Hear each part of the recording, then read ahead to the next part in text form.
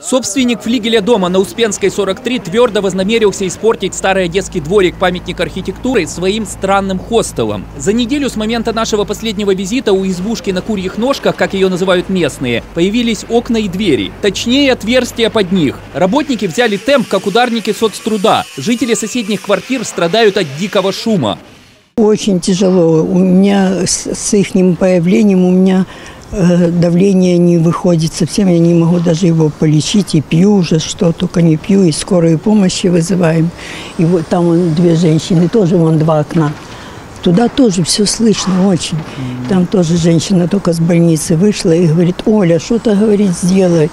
Э, Потому что невозможно, окна закрыты у меня, и все слышно, и невозможно.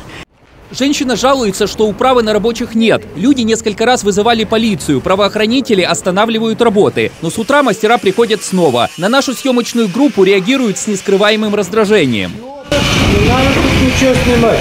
Но мы знаем, что надо, что не надо, мы знаем. Городском управлении ГАСК уже оштрафовали собственника на 8,5 тысяч гривен. Не помогло. Теперь владелец избушки скрывается и сносить на холстрой, видимо, не собирается. В управлении планируют провести повторную проверку, после чего будут готовить иск в суд. На сегодняшний день наше предписание не выполнено. Нами сейчас производится проверка предписания, но в связи с тем, что согласно действующего законодательства проверка проводится только или представителей собственника, или когда представитель. То есть или нам нужен или собственник, или его представитель. Если нет того или иного человека, мы не имеем права составлять акты, протоколы и предписания, которые обязательны к исполнению.